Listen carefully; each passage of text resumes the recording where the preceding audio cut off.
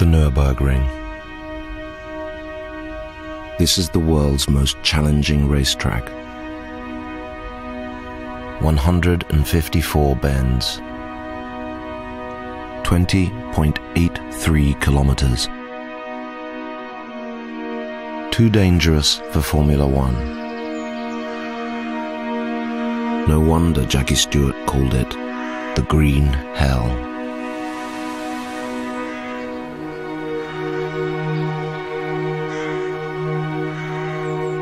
So, what is it that brings us back here?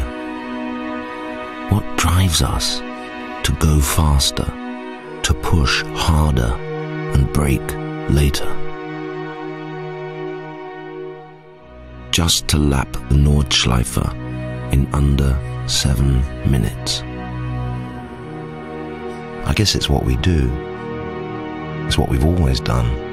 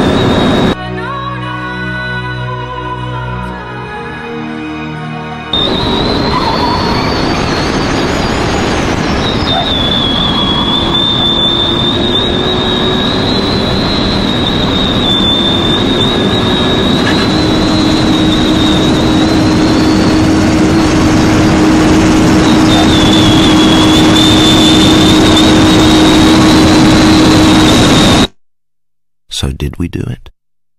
Did we complete a sub seven minute lap?